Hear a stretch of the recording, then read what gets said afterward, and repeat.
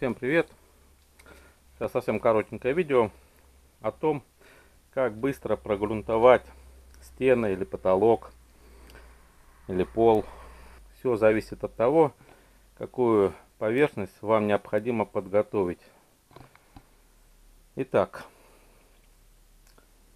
самый распространенный способ, наверное, кисточкой, либо валиком. Но, честно признаться, я даже об этом и не думал, когда стал вопрос, как мне грунтовать.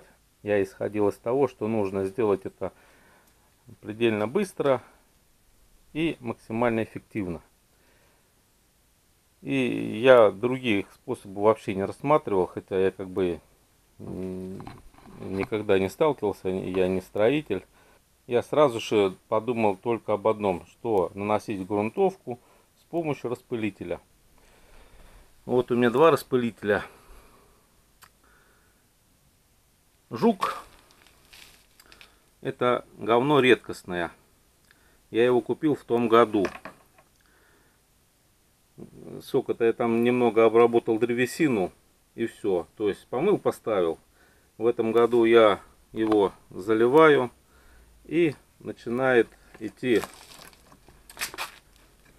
жидкость через поршень насоса. Я накачиваю, накачиваю.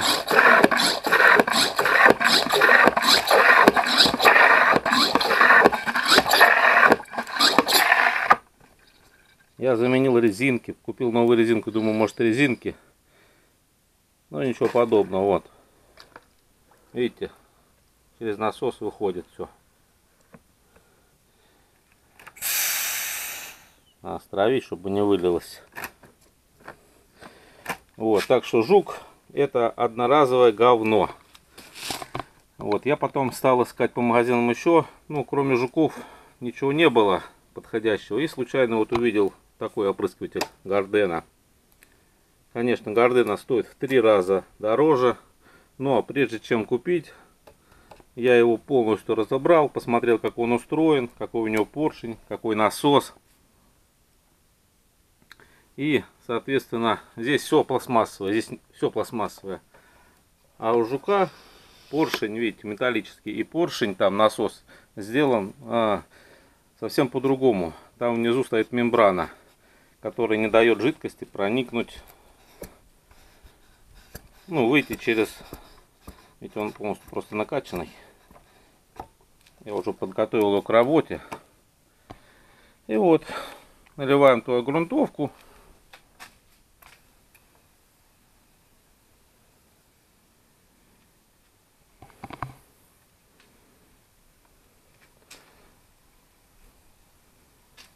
Видите, все как быстро. И э, самое интересное,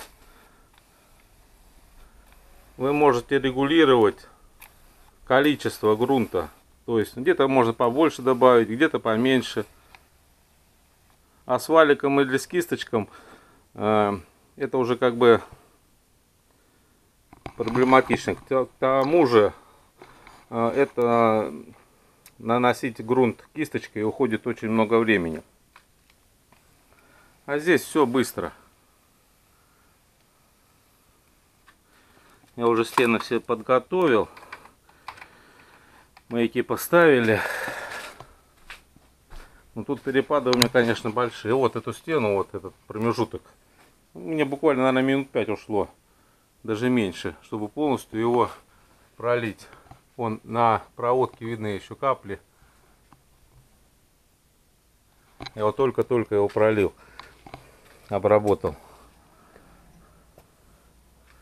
Вот, сейчас я сюда буду еще накидывать слой штукатурки. Видите, какие стены кривые. Вверху 9 сантиметров. Внизу 0. Вообще 0 по бревну. Бревно вот это нижнее сильно выпирает но на нем все стоит. Его срезать нежелательно. Соответственно, мне приход... придется набрасывать в два слоя хоппером. Про хоппер еще по... отдельно потом расскажу дополнительно. А то слишком много вопросов. Вот. Все сделано, подготовлено. Осталось сейчас прогрунтовать и нанести первый слой штукатурки. А потом через день-два, когда схватится, уже можно финишную под уровень под правило вытягивать. И все будет нормально. Еще дополнительно, вот видите, проводов сколько много. Я дополнительно все сфотографировал и нанес, указал размеры, где какие, чтобы потом не пробить проводку. Если будут вешать, если буду когда вешать э, кухню, ящики, чтобы проводку не пробить, я все сфотографировал, распечатал и нанес размеры. Это такое вот маленькое отступление. Кому-то пригодится, я думаю. Вот и все, в принципе. Так что выбирайте более, не жалейте денег, более качественный распылитель. Ну что, и можно все распылять. Я ее для всех э, любых жидкостей использую. А вот этот хрень одноразовая. Самое интересное, я прихожу на рынок, где продают этих жуков. Говорю так и так. Говорят, а это у них болезнь.